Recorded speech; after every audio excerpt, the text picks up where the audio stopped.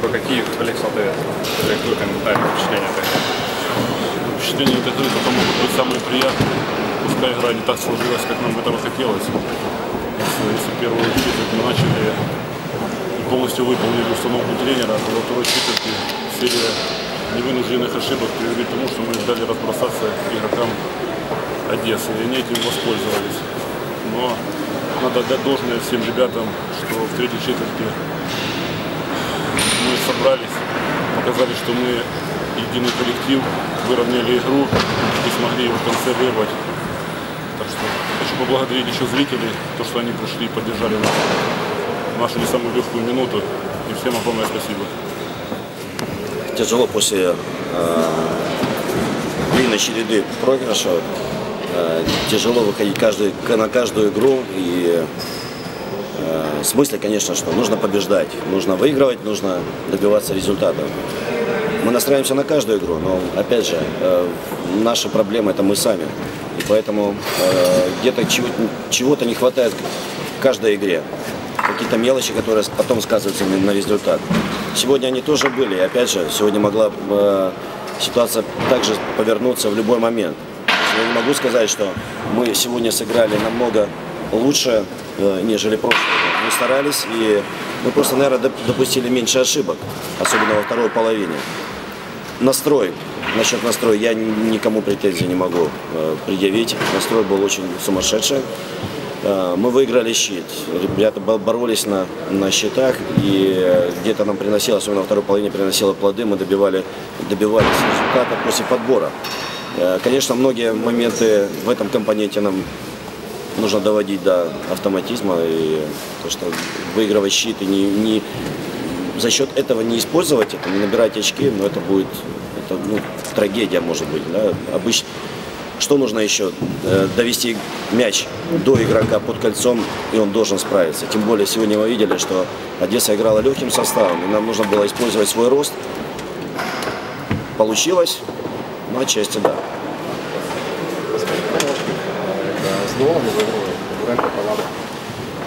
А, вы знаете, как свежая кровь всегда она э, преподносит такой элемент, как э, ну, для команды соперника может быть неожиданность, да. А, для своих же игроков это больше подстегивает, э, больше заставляет задуматься о своем месте в составе. Да, вот, вот эта свежая кровь, она сыграла свою роль. Если в первой игре Парвадов хорошо вошел в игру, сыграл некоторые моменты очень так достойно. Сегодня Буренко да, заставил э, сыграть так команду, как э, хотят тренера. Да?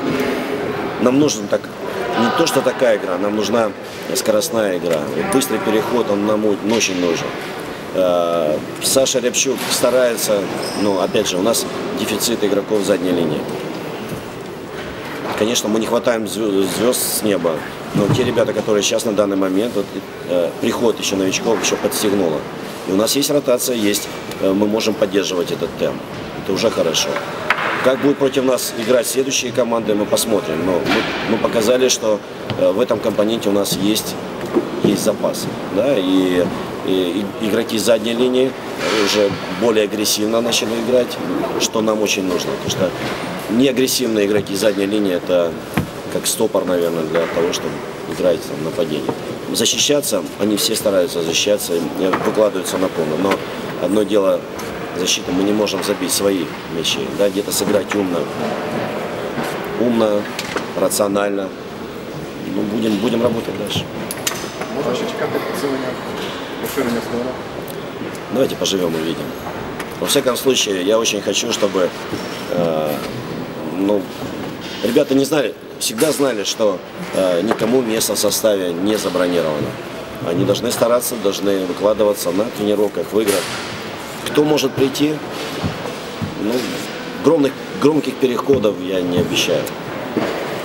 Кто-то ожидал, что, например, Паша Буренко да, с дублеров может оказаться здесь. Никто. Так что это так.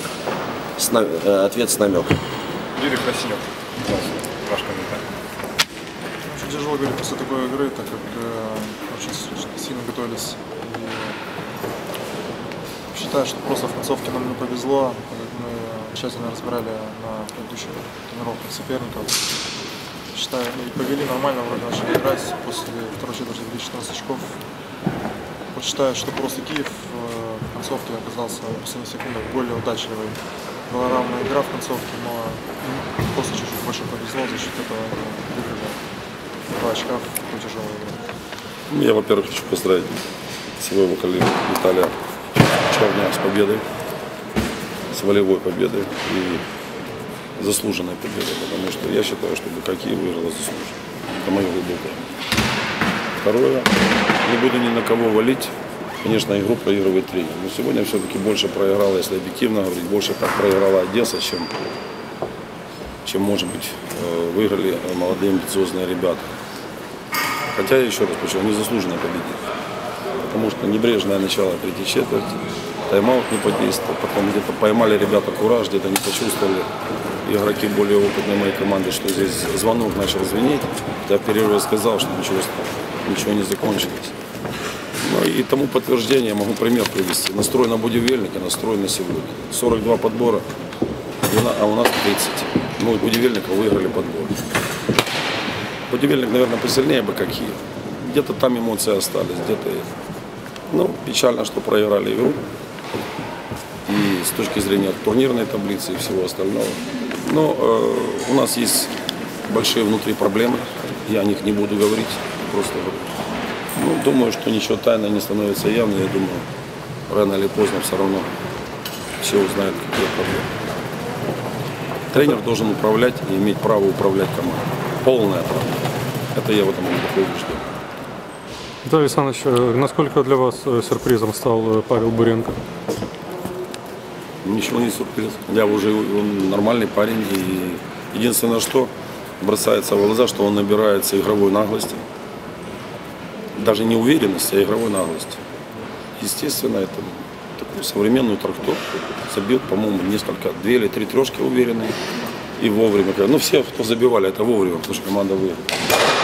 А так, в общем-то, где, э, будем говорить так, что сегодня бросалось в глаза, везде, где Одесса не доработала в защите, с тем же, молодец, с Липовым, с тем же вот, э, в общем-то, с каждым где-то, игроком, каждый наказал. Обычно это свойственно опытной команде. То есть это говорит о том, что команда, в общем-то, преподносит сюрприз. Да, она больше может быть сегодня сюрпризов, но она не сдается, работает, растет. Молодые игроки пытаются доказать, что они на этом рынке нужны как и своему клубу, так и в будущем, наверное. У вас две подряд игры в Киеве, две очень интересных для зрителей, но, к сожалению, для вас про проигранных. Может, как-то сыграть неинтересно, но выигрывать? Я думаю, что надо, наверное, все-таки сказать такую нехорошую правду. Не может тренер больше всех переживать за победу. Пусть я буду нескромным, каким угодно. Спасибо.